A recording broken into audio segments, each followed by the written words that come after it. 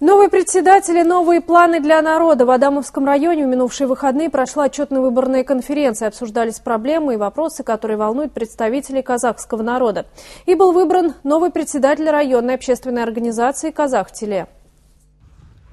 В Адамовском районе 40% населения составляют казахи, и здесь особенно чувствуется сплоченность этого народа. Общественная организация «Казах-Теле» в этом районе одна из самых мощных, но после смерти руководителя общества, которое возглавлял его более 20 лет, возникла необходимость в избрании нового. Состоялась отчетно-выборочная конференция. Люди говорили о сложностях и путях их решений. В школах, ну не во всех, я хочу сказать, в тех школах, где у нас населенное население в основном казахское, есть зачатки того, что изучает свой родной язык.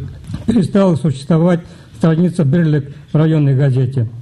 Недостаточно проводится пропагандистская работа по подготовке, по подписке на газету «Жена Айкап». Все эти вопросы необходимо решать казахскому обществу в районе. После обсуждения дел насущных перешли к голосованию за нового руководителя общества. Главным претендентом был Канат Кулахметов.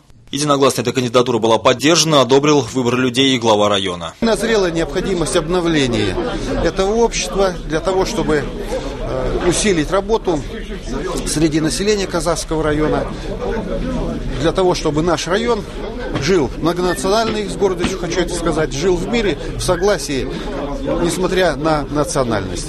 Кстати, на встрече говорили и о терпимости национальности друг к другу, о толерантном отношении людей. К слову, в самом районе каких-то неприятных ситуаций, связанных с этим, не было. То, что обсуждалось, оно у всех на слуху, потому что мы же СМИ, да, средств массовой информации, телевидение, видим эти э, проблемы. Есть опасения, а мало ли, а вдруг это и сюда придет, и не дай бог это случится. Поэтому и звучат слова предупреждения, скажем так, предостережение о том, что если что-то вдруг где-то что-то случится, необходимо сразу об этом сообщать, эти вопросы надо решать. Новый председатель общества уже готов к работе, но понимает, легко не будет. Очень трудные задачи стоят сегодня вот на конференции. Речь велась о языке казахского, о казахском быте. То есть еще впереди большая работа. Первое, что пообещал сделать новый руководитель, это приложить усилия к введению в школах нового предмета – изучения казахского языка. Уверен, местные власти будут содействовать этому. Александр Жарков, Петр Рукин, Орен ТВ.